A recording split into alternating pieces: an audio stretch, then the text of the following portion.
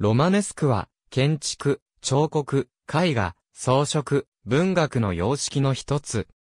建築用語及び美術用語としては、10世紀末から12世紀にかけて、西ヨーロッパに広まった中世の様式を指し、この記事ではそれについて述べる。文芸用語としては、ロマンから派生し、奔放な想像力によって、現実の論理、事象の枠を飛び越えた幻想的な性質を指す。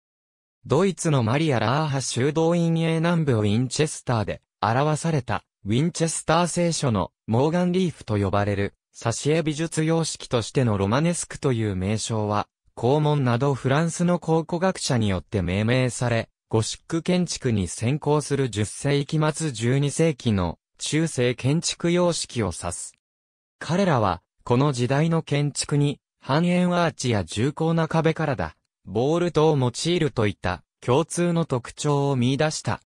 そして、それが、戦闘アーチやリブボールトを用いてそびえ立つ、ゴシック建築とは大きく異なっており、古代ローマ建築の影響を色濃く残すものだと考え、これにロマネスクの名を与えた。ラテン語を起源とする西ヨーロッパ諸語は、ロマン語と呼ばれることがあるため、これに習った呼び名である。この時代に広まった美術全般の研究が進むにつれて、ロマネスクの言葉は、建築にとどまらず、絵画や彫刻にも適用されるようになる。同時にその内容が古代ローマ美術の継承に、とどまらず、ケルトやゲルマンの芸術要素、さらには、ビザンティン、イスラーム、そして、エジプトやシリアなど東方キリスト教美術の影響も受け継いでいることが指摘されるようになる。また地理的範囲も、ロマンス諸語が意味するところとは大きく異なり、南フランスやイタリアのみならず、ドイツや北、フランス、ノルマンディーやイギリスにも広がっていることが確認されている。ロマネスク美術は宗教美術が中心で宗教建築、とりわけ修道院が主導的な役割を果たした。ゴシック美術の中心が都市の大聖堂であるのに対して、ロマネスクは修道院の芸術だとしばしば言われる。代表的な建築の多くは修道院の教会堂であり、それを飾るための彫刻や絵画が制作されたほか、またエマイユや、金工品、ステンドグラス、ミニアチュールなどが修道院で作られた。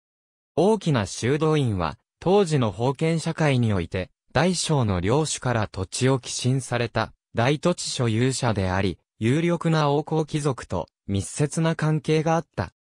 特に、ドイツでは、オットー朝やザリエルアサの所定の保護のもとに、初期ロマネスク美術が形成されたため、これをオット美術として、ロマネスク美術から区別する研究者もいる。ヨーロッパが成功していった時代に、高品質の芸術は、カロリング朝とオットー時代の大部分から、もはや宮廷と総院の荘園に制限されることはなかった。修道院は依然として非常に重要であった。特に当時の拡張主義の修道会であるヨーロッパ全域に広がった使徒会、クリュニー修道会、カルトジオ修道会の修道院は重要だった。しかし、町や巡礼ルート上の教会、そして小さな町や村の多くの教会には、非常に高い水準の精巧な装飾が施されている。実際に、大聖堂や町の教会が再建される時には、よく、それらが復元され、ロマネスク様式の王宮は、全く残っていない。ベルダンのニコラスが大陸を越えて知られているように、俗人の芸術家の価値が認められてきた。ほとんどの石膏や金細工師は、俗人となり、マスター・ヒューゴのような俗人画家が多数派になっていたようだ。少なくともその時代の末期までには彼らが最高の仕事を行っていた。彼らの教会の仕事である図像は、聖職者との妥協点にたどり着いたと言える。ありがとうございます。